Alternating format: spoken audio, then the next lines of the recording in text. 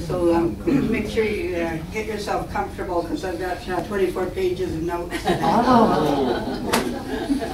Um, Not very many slides. Because we're dealing with uh, explorers, so uh, a lot of the history we're talking about predates uh, photography. So it was a little trickier to find visuals to, to go with this one. But uh, wanted to talk about um, the explorers that uh, were in this region. Called explorers in the Selkirks, but I am going to be um, heading into the Rockies a little bit as well to, uh, as we as we go along. So, starting with uh, David Thompson, um, be- you know, before I really talk about uh, the European explorers to this area, I think it, uh, all- always need to be aware that, of course, there were people here. You know, there were people that were already very familiar with, uh, with this region and with the, the passes. Uh, so when we talk about, um, a lot of the, the early explorers talked about discovering things. Well, they weren't really discovering things, they were surveying and uh, exploring. But uh, I think it's safe to say that most of the terrain in this area had already been discovered and was being lived in and used by the First Nations people, both by the Sinixt who lived on the, the Columbia River system. And there's, there's definitely um, conflicting information about how far past Revelstoke their territory extended, but their territory did extend at least to Revelstoke. They probably did go into the, the Big Bend area north of here, but we don't know the full extent of their, their use. Uh, we'll be seeing in a little while some of the trails that were used by the, the First Nations between the, um, uh, the, between the Shuswap Lake and, uh, the, the Columbia River, so they're definitely here, you know, they're definitely using the landscape. Um, so, but David Thompson is credited as the, the first European explorer to come through this area. Uh, he was born in England in 1770, and uh, at the age of 70, he, at the age of seven, he was sent away to uh, what they called a charity school. I guess he was seen to have some promise, and they felt that he could be trained. So he was, um, he showed an aptitude in math. So he was being prepared for a career as a midshipman in the Royal Navy. Uh, he was uh, got a lot of instruction in uh, in math, algebra, uh, trigonometry, geography, and, and navigation using practical astronomy. At uh, the age of 14, he was sent to Canada as an apprentice with the Hudson Bay Company and uh, left, uh, in, left England in May of 1784. Uh, he began uh, travels uh, through, with the uh, Hudson Bay Company survey crews. Um, At one point, he had a, an accident, he fell and broke his leg, and it was severe, and in those days, they didn't have a lot of proper medication, so it was actually, it, they didn't think he was gonna make it for several weeks. It was a full year before he fully recovered, He had a limp for the rest of his life, which is remarkable when you think of the amount of territory that he walked and paddled for the rest of his career. I also became blind in his right eye, and it was uh, said that that was possibly because of, uh, from observing the sun without proper eye protection. Uh, When he uh, left his apprenticeship, he was given lot of uh, equipment, the sextant, an artificial horizon, and a compass, and a thermometer, and uh, various other pieces of equipment that he needed for his, uh, his uh, geographical uh, survey work. Uh, At the age of uh, 27, he left the Hudson Bay Company and joined the rival Northwest Company. He felt that the Hudson Bay Company was more focused just on, on trade and commerce, and he was more interested in exploration at that time. So he thought that he had more scope to explore and survey and do mapping with uh, the Northwest Company. In uh, 1799, he married uh, Charlotte Small, who was uh, the daughter of a Northwest Company partner and a a First Nations Cree woman. Uh, They had 13 children together over the course of their, their time. They, they were married for about 60 years and died within three months of each other. In uh, 1806, the Northwest uh, Company had made the decision to make an attempt to open trade with the First Nations west of the Rocky Mountains. And uh, so um, Thompson set out for Rocky Mountain House, which is not too far from Red Deer. And uh, they uh, spent the winter of 1806, 1807 there, and then in uh, 18, or in May of 1807, uh, Thompson and his family, along with uh, Finnan MacDonald, who was uh, a, a partner of his, and eight other voyageurs, set out to cross the Rocky Mountains. And they traveled up the North Saskatchewan River, past Kootenay Plains, and over what would be later known as Howse Pass. They descended the Blaeberry River to the Columbia, although at the time they didn't know that it was the Columbia. They arrived there in June of 1806.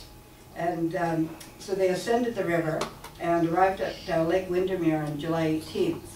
Uh, they built Kootenay House there and spent the winter trading. Uh, over between 1808 and 1810, he continued his exploration in the Kootenays and into Montana and Idaho, and they were trading along the way.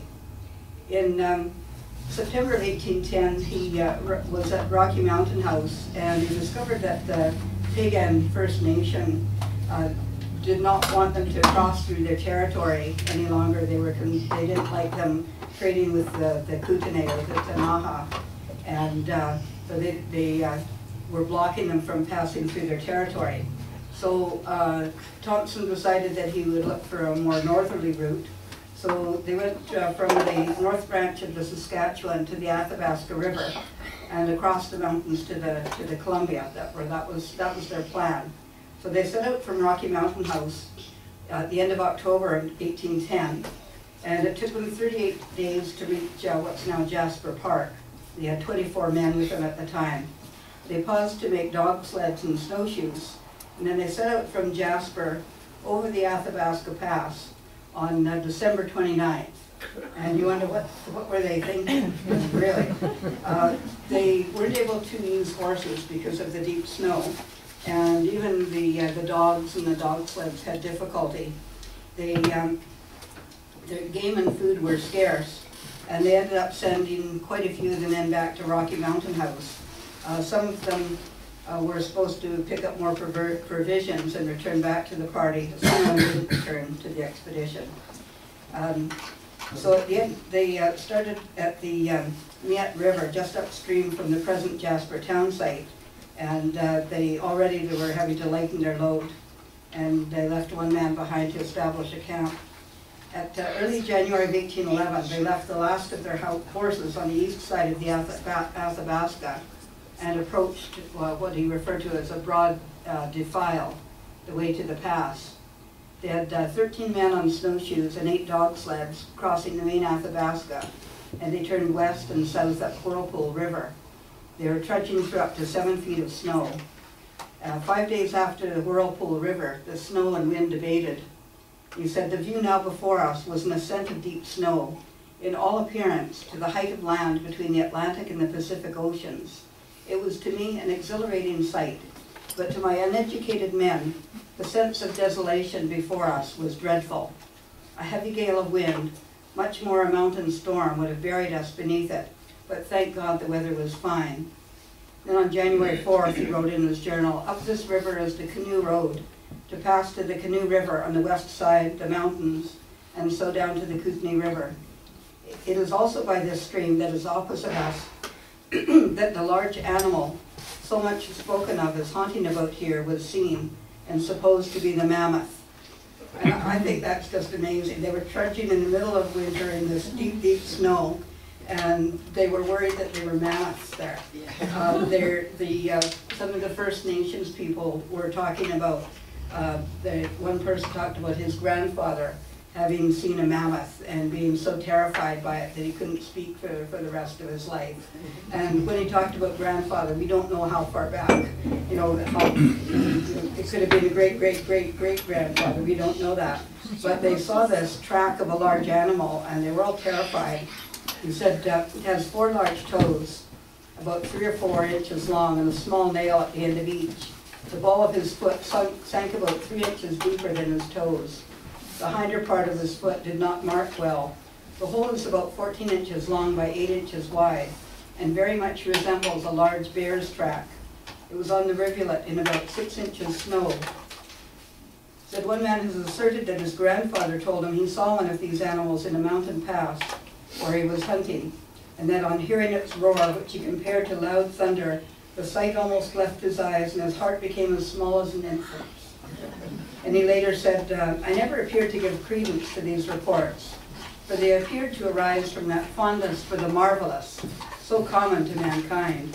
But the sight of the track of that large beast staggered me, and I often thought of it, yet could never bring myself to believe such an animal existed, but thought it might be the track of some monster bear. Uh, It was, you can, as you can imagine, it was a very difficult uh, trip. The uh, men were hungry, tired, and frustrated. Finally, on January 10th, they reached the top of the Athabasca Pass. And uh, Thompson wrote, Many reflections came to my mind. A new world was in a manner before us, and my object was to be at the Pacific Ocean before the month of August. How we were to find provisions, and how many men would remain with me, for they were dispirited. Amidst various thoughts, I fell asleep on my bed of snow, and the descent to the Columbia began the next day. So, uh, following the, the Wood River, they reached the forks of the Columbia and Canoe Rivers on January 18, 1811. Now, this is a 1915 map, but uh, you can see up here, this is, so this is where they were coming from, and this is where the Wood and the Canoe Rivers hit the Columbia. It's just above where the Mica Dam is now, and that's the, the top of what's referred to as the Big Bend. Um, so finally, on um, the, the 23rd, they, well, they, on January 18th, 1811, they reached uh, the forks of the Columbia and the Canoe Rivers. And they tried to press on um, upstream on the Columbia and, until the 23rd. But the going was too hard, so they returned to the conjunction of the rivers. And they named that area Boat Encampment. Uh, they had only traveled 12 miles in four days. So on January 26th, uh, back at Boat Encampment, uh, the three men deserted, and, you know, where do you desert to? So I guess they would have gone back over the Athabasca Pass. Another was ill. Thompson sent two others with letters to be delivered to William Henry of the Northwest Company, asking for more trading goods. And uh, two men, uh, Vi- Villard and Lamoureux, remained with Thompson, and they began building a crude hut. He said, Our residence was near the junction of two rivers from the mountains with the Columbia. The upper stream, which forms the defile by which we came to the Columbia, I named Flat Heart, from the men being dispirited. The other was the Canoe River. The Flat Heart was later known as the Wood River.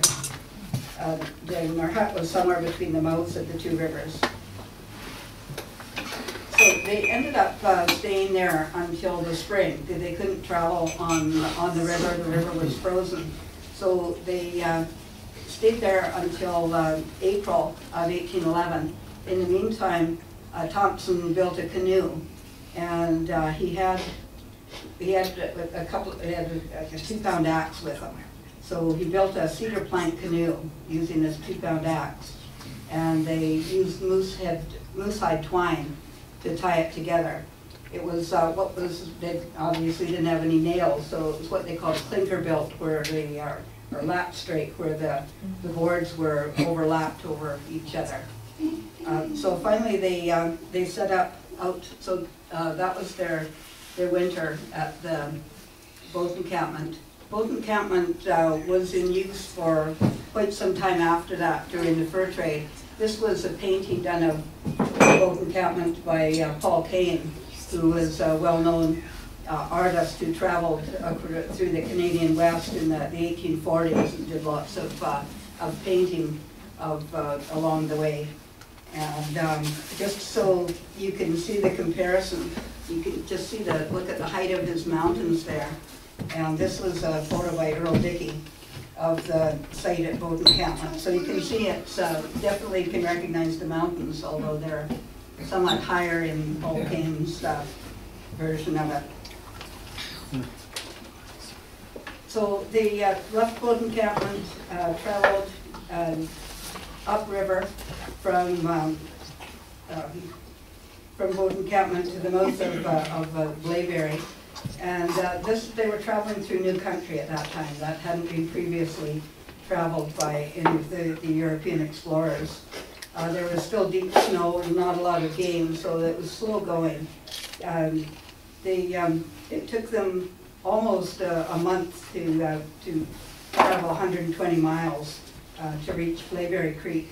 By then, he was back on familiar ground, and they headed down into, uh, to Washington State and to Spokane House, uh, Kettle Falls. And on July uh, 3rd, 1811, he started down the Columbia and uh, put up a notice at the mouth of the Snake River on July 9th. Know hereby that this country is claimed by Great Britain and that the Northwest Company of Merchants from Canada do hereby intend to erect a factory in this place for the commerce of the country around.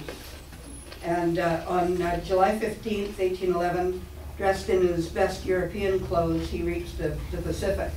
But of course, by then, uh, Astor had already reached the Pacific and had claimed that area for the, uh, uh, for the United States. So um, there's a lot of speculation about uh, whether the Northwest Company had already done a deal with, uh, with Astor and uh, they'd already conceded that, that area and the, the mouth of the, the Columbia, but there's a lot, that's all, all speculation. In any case, um, Thompson had made it to the, to the mouth of the Columbia, and uh, from there he uh, headed back up, uh, up, up, upstream on the Columbia. And um, his idea was to, his plan was to get back to boat encampment, by which time he would have traveled the entire Columbia River, and he was the first person to have ever done that.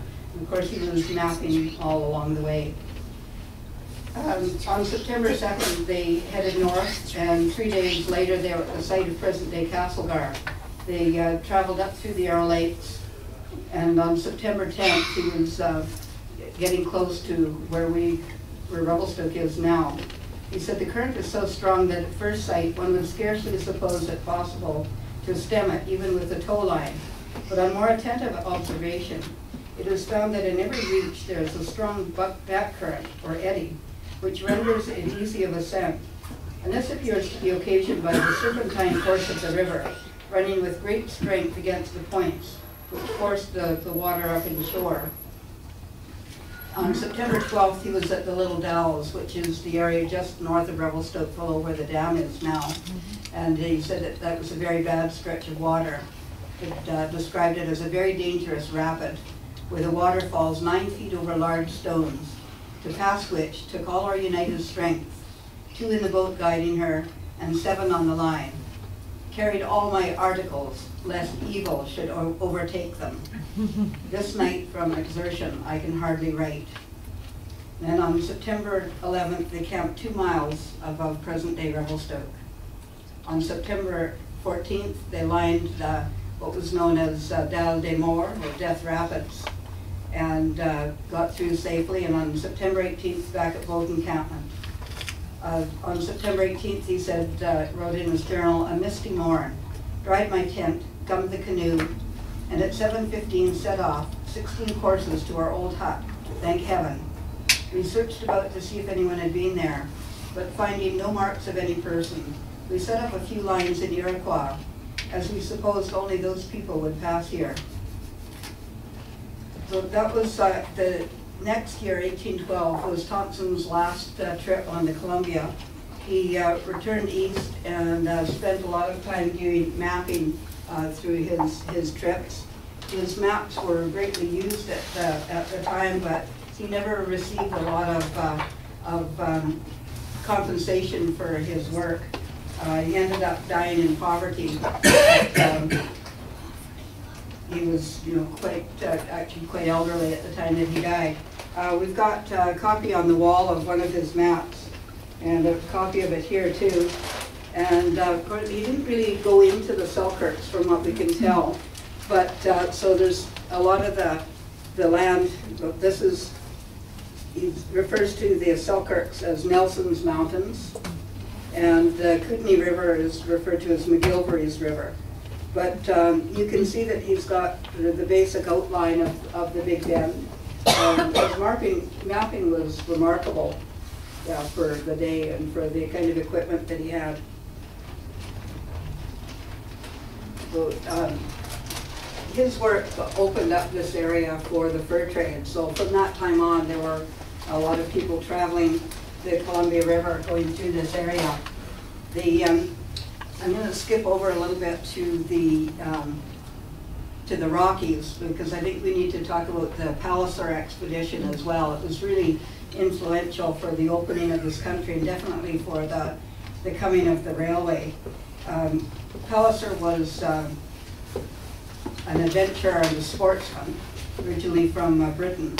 And uh, he, after uh, some wanderings in the US and Canada, he uh, made a proposition to the British government to explore Western Canada in order to open up the country for settlement and to explore possible mountain passes for railway routes. Uh, he was made a fellow of the Royal Ge Geographical Society in England and received their backing for his proposal. Um, just realized I missed a couple of slides that were related to Thompson, so I'm just going to backtrack a bit. This was a cairn that was um, uh, put up in, uh, in 1953 um, uh, at Boat Encampment. And of course, that area is now uh, part of the Mica Dam Reservoir. Uh, when they were clearing for the reservoir, they removed the, the plaque from uh, that, and it was supposed to have been sent back to Ottawa to be destroyed because it was unilingual. And for some reason, it ended up in the basement of the museum. When I started working here in 1983, we found it in, it was in the basement, and we spent hours trying to clean it because it, I think it had gotten thrown onto a clearing file and fire. Actually, some of the some of the writing was was actually melted off, but we managed to clean it up reasonably well, and it's on display downstairs right now. There's a picture of the, um, so they had it on on quite a, a big platform there, and uh, unveiled that in 1953. So there's a small sign marking um, marking boat encampment now.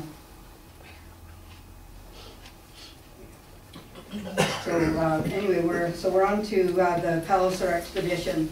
And uh, one of the um, partners in the Palliser expedition was James Hector, who was um, born in uh, Scotland in 1834. He uh, trained as a medical doctor, but he also had a real interest in uh, natural sciences, especially geology. Uh, he uh, joined the, the joined Palliser and came out for to work on the Palliser expedition they were to travel from the Red River Colony in Manitoba uh, to and through the Rocky Mountains along the unsurveyed American boundary. It was also to be a scientific expedition amassing meteorological, geological, and magnetic data and collecting botanical specimens. In August of 1858, they reached the Rockies and uh, Palliser divided the party. So uh, James Hector, accompanied by a botanist and uh, another scientist and their guide, uh, Peter Erasmus, and a Stoney First Nations man referred to as Nimrod. Uh, they went further up the Bow Valley. Um, so Hector and his party traveled up the Kootenay Valley and over the low pass to the headwaters of the Beaverfoot River, then followed the Beaverfoot to its confluence with the Kicking Horse River near Wapta Falls. They ascended the Kicking Horse and passed over Kicking Horse Pass. They turned just before reaching what would become Mount Hector and traveled north past what George Dawson would later name Hector Lake to the headwaters of the Bow River. They finally reached North Saskatchewan River and then eventually Fort Edmonton. So that's sort of the, the capsule version of their trip. But um, the big story of that trip is uh, why the Kicking Horse River got its name and who got kicked. Um, then that was James Hector. He said um, on uh, August uh, 29, 1858, they descended the Beaverfoot River. He said, we had traveled a few miles when we came to a large flat where the wide valley terminated, dividing into two branch valleys, one from the northwest and the other from the southwest. Here we met a very large stream, equal in size to the Bow River where we crossed it. This river descends the valley of Beaverfoot River, turns back on its course at a sharp angle, receives that river as a tributary, and flows off to the southwest through the other valley. Just above the angle there is a fall about 40 feet in height, where the channel is contra contracted by perpendicular rocks. A little way above this fall, one of our pack horses, to escape the fallen timber, plunged into the stream, luckily where it formed an eddy, but the banks were so steep that we had great difficulty in getting him out. In attempting to recatch my own horse, which had strayed off while we were engaged with the one in the water, he kicked me in the chest. but I had luckily got close to him before he struck out so that I did not get the full force of the blow. However, it knocked me down and rendered me senseless for some time. This was unfortunate as we had seen no tracks of game in the neighborhood and were now without food. But I was so hurt we could not uh, proceed further that day at least. My men covered me up under a tree and I sent them all off to try and raise something to eat. Actually, Hector uh, became unconscious and um, his men actually thought he had died. They couldn't find a pulse at one point. So they, they started digging his grave. And uh, when Hector woke up, he said, um, I woke in time to behold my grave yawning for me.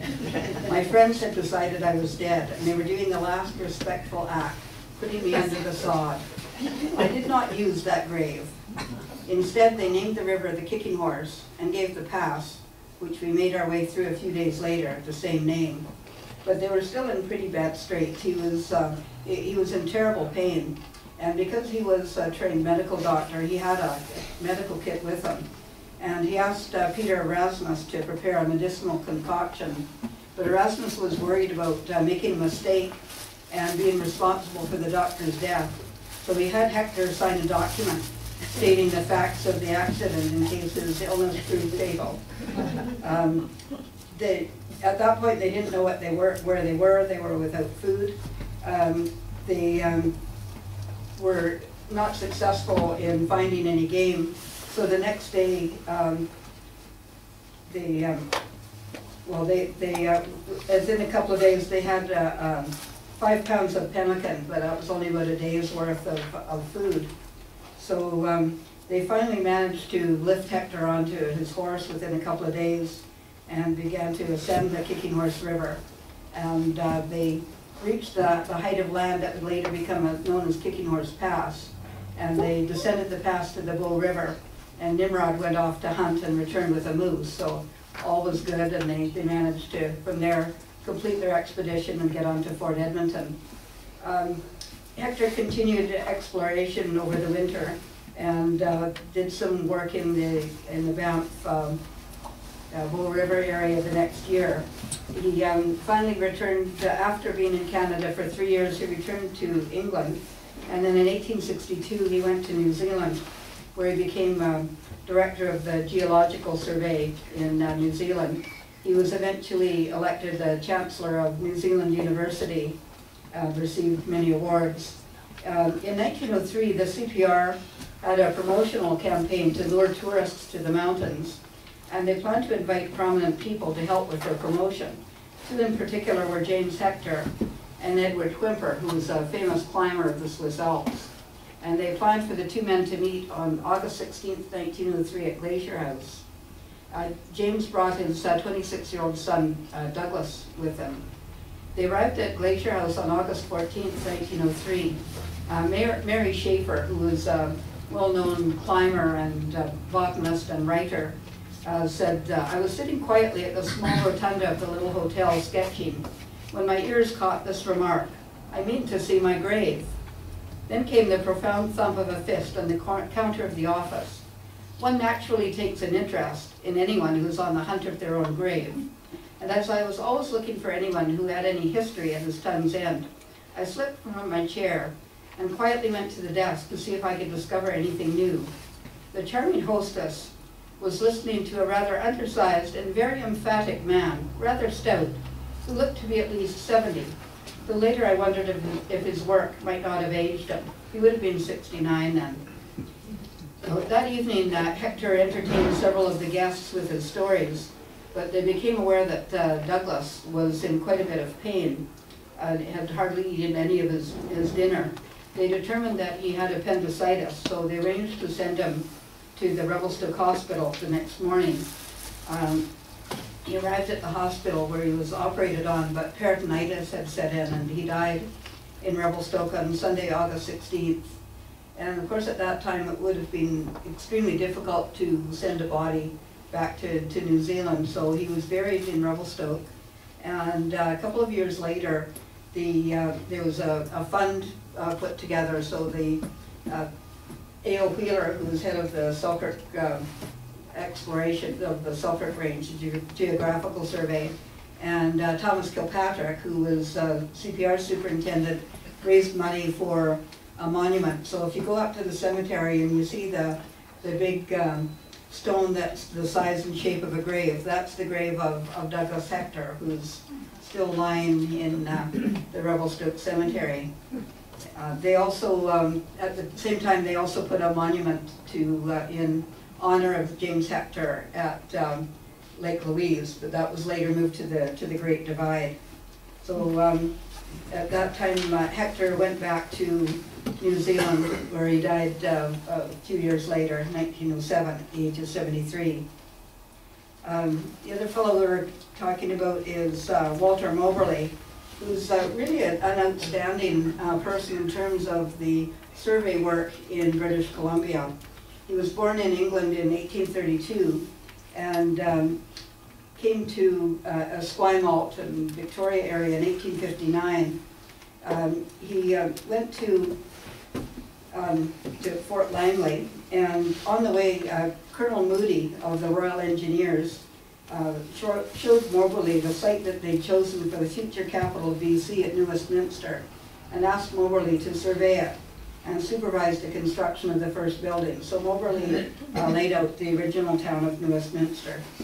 Uh, They also, he did a lot of uh, survey work on the uh, Burrard Inlet and uh, through Van, uh, the- what's now Vancouver. He noted that the site of the present city of Vancouver was a perfect location for a future great port city. In uh, 1859, he cut a trail through the thick forest from New Westminster to Burrard Inlet, what is now Port Moody. He worked with Edward Dewdney on the Dewdney Trail from Hope to the southern interior. And they also did uh, uh, construction on the Cariboo Road. So he was uh, really involved in uh, survey work and uh, road construction in the interior. Uh, He was a member of the Legislative Assembly at, for some time, but he was, um, after his first term, he was appointed Assistant Surveyor General for the colony of BC. Um, His, one of his first assignment under that new title was to explore the territory east of Kamloops to the Columbia River. So in June of 1865, Moberly with his assistant Albert Perry and a First Nations man named Victor went from Fort Langley to Yale to Kamloops and from the South Thompson to the Shuswap and Mara Lakes, which they explored.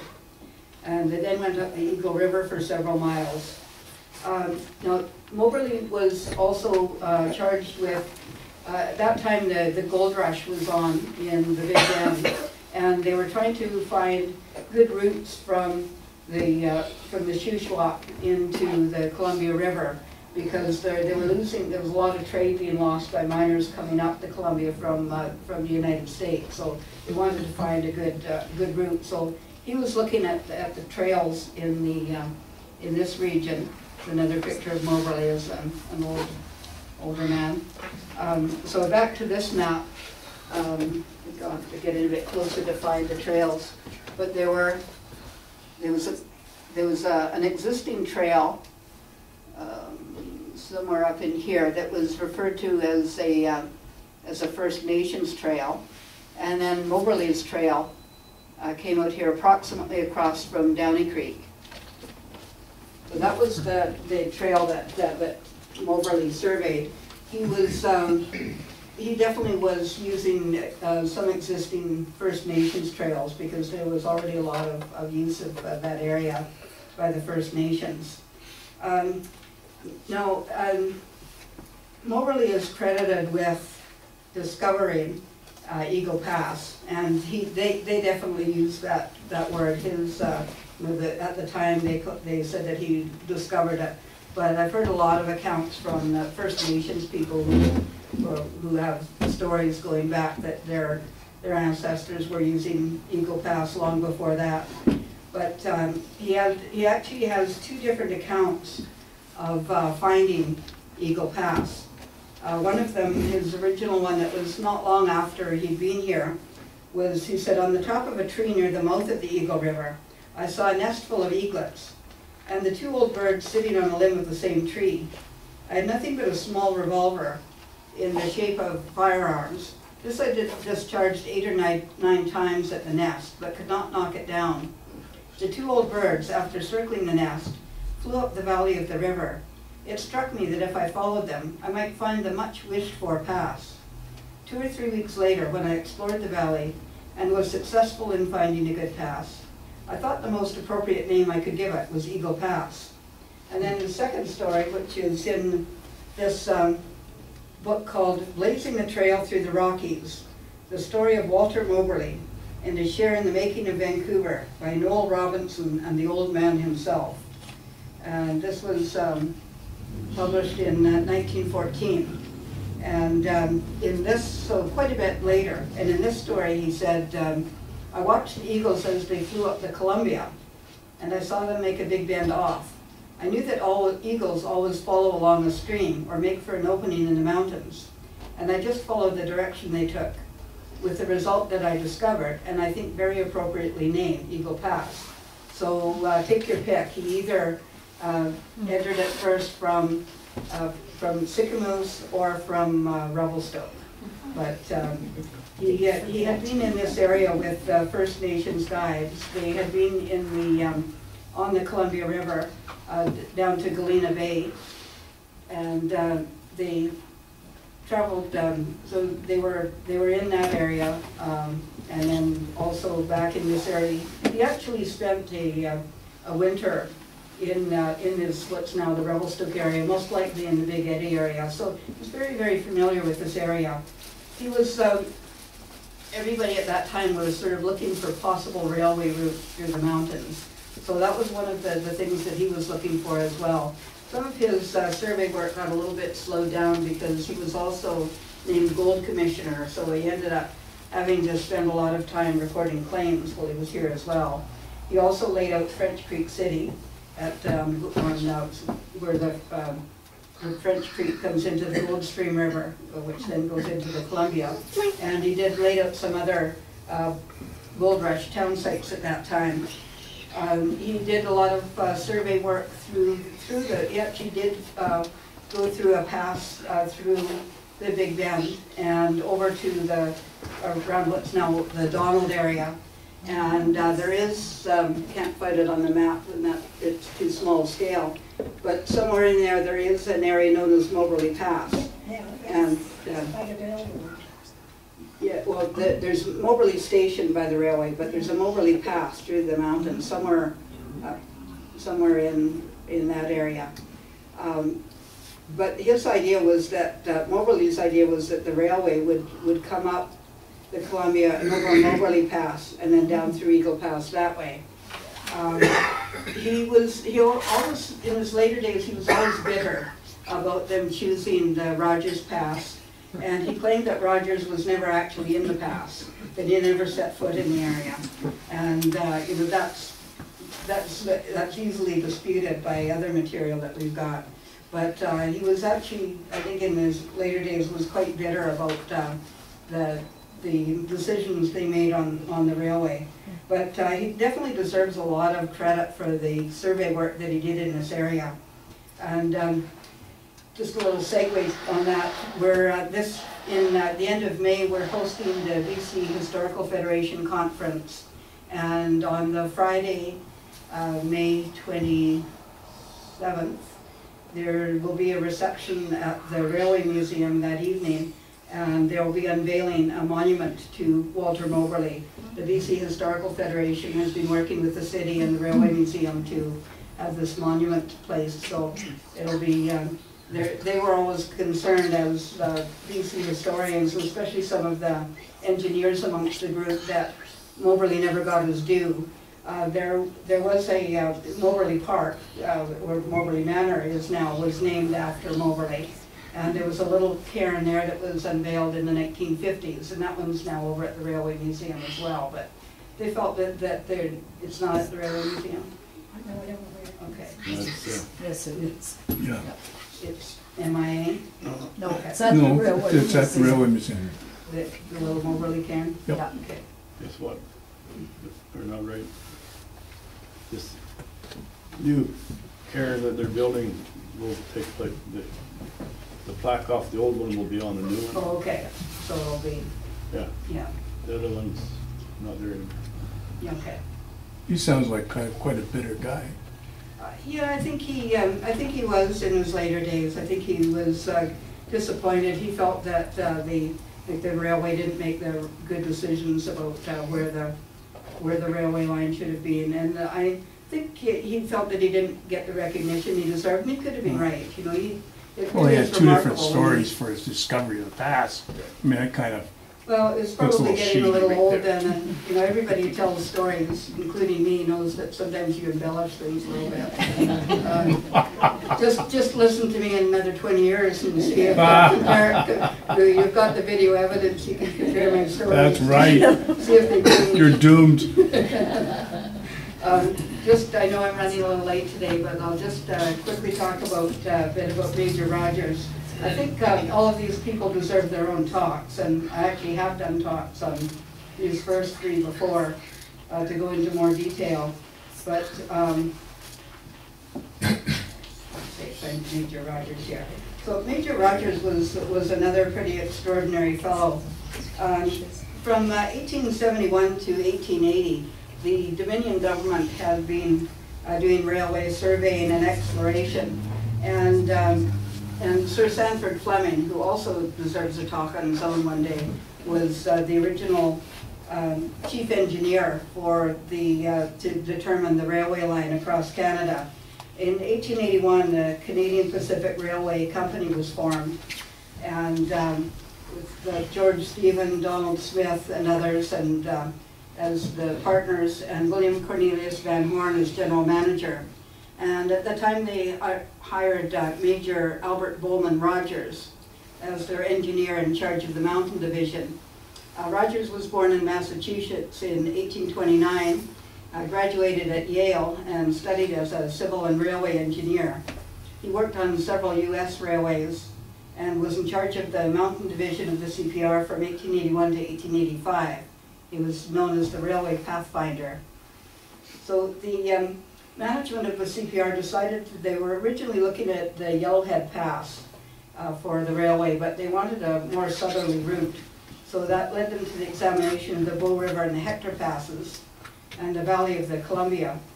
Uh, They uh, considered following the bend of the Columbia, but the distance of over 200 miles deterred them. Major Rogers was focused on finding a straighter path through the Selkirk Range. In 1881, he traveled up the forks of the Illecillewaet and proceeded up the southerly branch, which Moberly had not taken. When Moberly was here, they had gone up the north fork of the, of the Illecillewaet.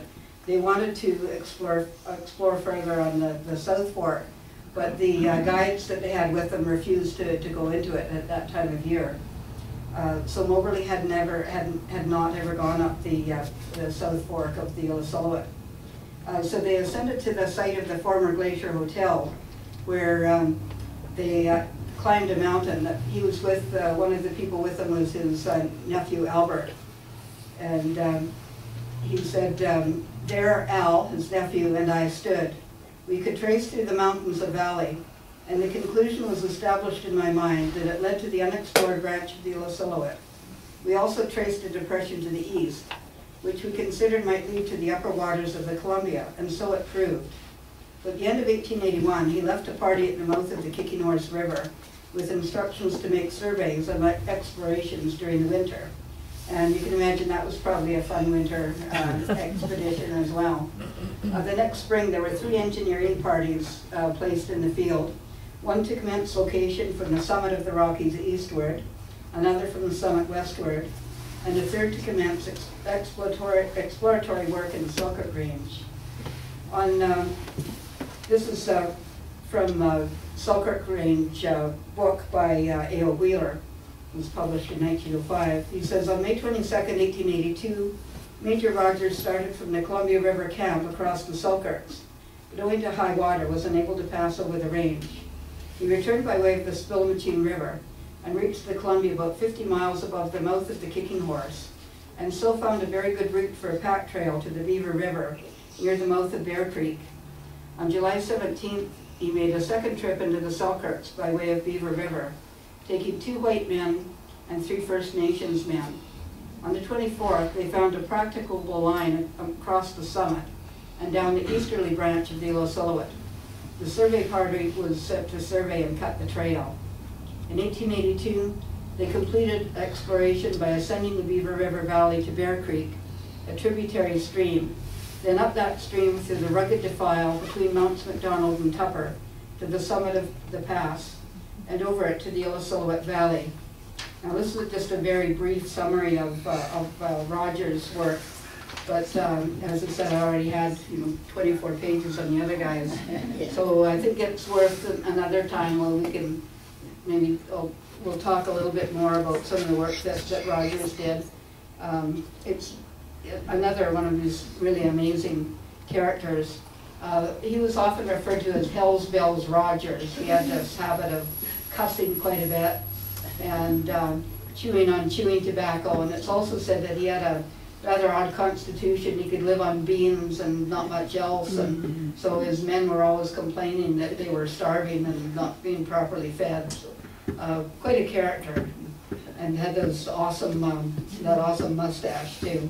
This is a picture of uh, Rogers Pass during railway construction in 1885. So, uh, yeah, I've rattled on for a long time here. Does anybody have any comments or questions? Just curious where they got all the ties, just looking at all the, they must have had a mill somewhere. They were running mills all the way along. They, they they were setting up mills as they, as they went, from what I could find. Uh, Do we, do we know anything about the First Nations guys that were with Rogers? They don't get a lot of uh, credit. They- No. Often they're not even named. Yeah. Um, There's one or two of, uh, one or two of Moberly's guides are named, and Moberly, he actually, Moberly seemed to understand the the different nations as well, and he was careful like, when exploring different areas to make sure he was using the, the guides from, from the right area and making sure that they didn't meet each other. He talks about them, you know, being conflicts between the, probably the Secwepemc and the Sinixt. And so he made sure that he sent off his Secwepemc guide before he met up with the Sinixt. So they definitely talk about them, but they don't, they, they very rarely uh, refer to them by name. They usually just call them Indian guides. They don't So- always uh, say what, what nation they're from Yeah. even. except for the Iroquois. They used a Yeah. lot of Iroquois, didn't they? They did, yeah, the, um, the fur traders used Yeah. the, used the Iroquois guides a lot. Well, the Iroquois are originally from back east, weren't they? Yeah, Just and trade or something. yeah, they would come with the, with the fur traders and um, travel across.